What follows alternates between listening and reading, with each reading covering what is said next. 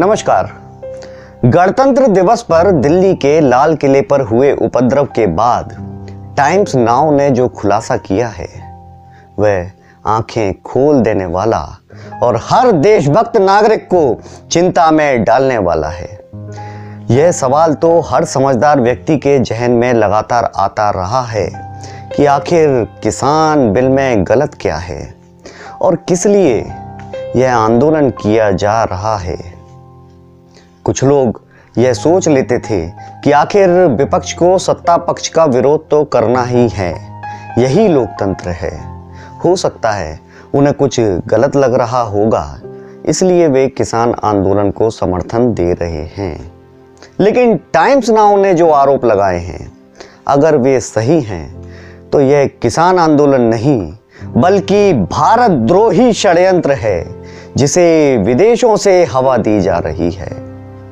Times now ने स्पष्ट रूप से खुलासा किया है कि किसान आंदोलन के लिए किन किन देशों से फंडिंग हुई है?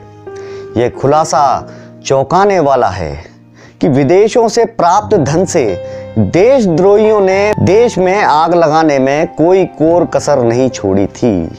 आइए टाइम्स नाउ के शब्द दर शब्द पर गौर करें।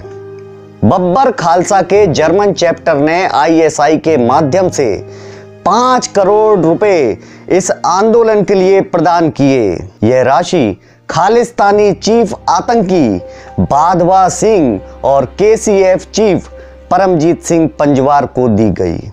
ये दोनों भारत सरकार द्वारा 1 जुलाई 2020 को आतंकी घोषित किए जा चुके हैं।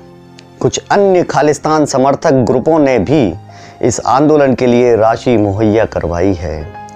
संतोख सिंह लल्ली और स्वर्णजीत सिंह गोत्रा ने किसान आंदोलन के लिए इटली से 200 हज़ार ब्रिटिश पाउंड इकट्ठे किए। कनाडा से जोगिंदर बस्सी ने तीन करोड़ भेजे तो British organisation of Sikh student के अलावा ब्रिटिश सिख काउंसिलिंग के प्रेसिडेंट कुलवंत सिंह बेसी और जनरल सेक्रेटरी दर्शन सिंह देओल ने भी किसान आंदोलन के लिए फंड जुटाया। इन लोगों का संबंध खालिस्तान टाइगर्स फोर्स और सिख फॉर जस्टिस से माना जाता रहा है। खास बात यह है कि फंड केवल जर्मनी, इटली या इंग्लैंड से ही नहीं जुटाया गया, बल्कि यूके कनाडा, यूएसए ऑस्ट्रेलिया और न्यूजीलैंड से भी किसान आंदोलन के लिए पैसा आया। यह पैसा हवाला के माध्यम से आया कैश कुरियर से आया। प्रो खालिस्तानी समूहों ने Western Union crowd funding platform के माध्यम से पैसा संकलित किया और पंजाब के अपने से संबंधित एनजीओ व किसान यूनिट को भेजा। इस पैसे का उपयोग परिवहन व्यवस्था, मीडिया चैनलों में सकारात्मक कवरेज प्रभावित किसान परिवारों की सहायता के लिए किया गया।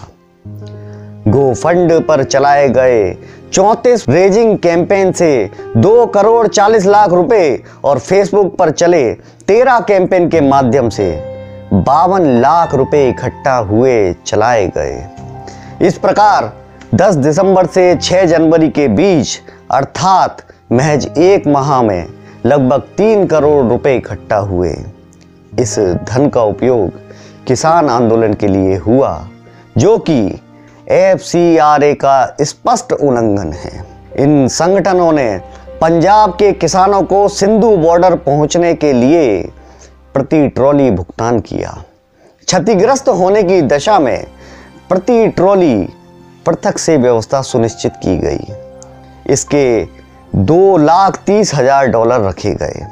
रैली में खालिस्तानी झंडा लहराने के लिए एक हज़ार यूएस डॉलर की व्यवस्था थी। इंडिया गेट और राजपथ पर खालिस्तान मोर्चा, खालिस्तानी झंडे बैनर के लिए पृथक से ढाई हज़ार डॉलर रखे गए। उफ, मेरा तो दिमाग ही घूम गया, यह रिपोर्ट देखकर। और फटाफट इसका हिंदी अनुवाद आपसे साझा करने से अपने आप को रोक नहीं पाया। एक सवाल बार बार लोग पूछते रहे हैं कि अपनी नानी से मिलने ऐसे मौक़ों पर ही क्यों जाया जाता है? मुझे तो जवाब मिल गया। आपको मिला क्या? नमस्कार।